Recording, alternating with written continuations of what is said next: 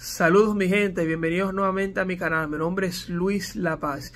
Y en esta breve ocasión les quiero tratar el tema de cuáles son los dos tipos de contratos que nos vamos a encontrar en una negociación de un inmueble aquí en República Dominicana.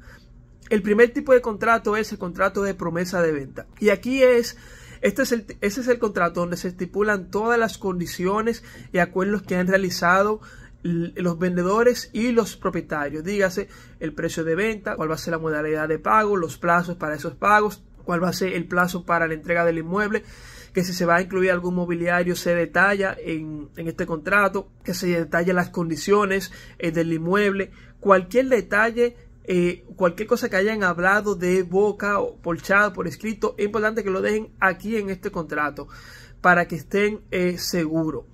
Este contrato eh, por lo general lo elabora del lado del propietario y tiene un costo que debe, debe, debe asumirlo el lado comprador. No necesariamente tiene que ser que lo elabore el, propietario, si su, el comprador tiene su abogado o la persona que le elabore un contrato, también puede solicitar a los vendedores que le permitan la elaboración del contrato.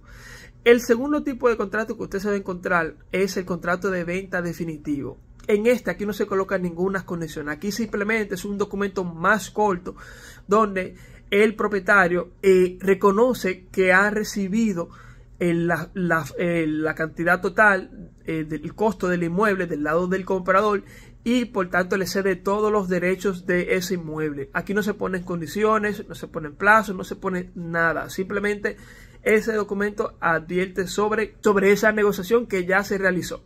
Este es el documento que usted va a utilizar para ir a hacer la transferencia de su inmueble a nombre suyo. Entonces, si usted va a comprar con un préstamo hipotecario a través de una entidad financiera, pues la entidad financiera se encarga de la elaboración del contrato definitivo. Ahí no interviene ni el propietario ni el comprador. Ahora, si usted va a comprar sin financiamiento, pues ahí sí también ambos contratos lo gestiona, el lado comprador lo elabora, el lado vendedor, perdón, lo elabora y el lado comprador asume los, los costos. Estos costos pueden variar aproximadamente actualmente en el 2023 donde se está grabando este video de 5 mil a 6 mil pesos dominicanos que esos son aproximadamente 100 dólares americanos así que nada si te quedaste con alguna duda me lo puedes dejar en los comentarios o contactarme al, al 1 829 774 6614 Recuerda suscribirte. Muchas gracias.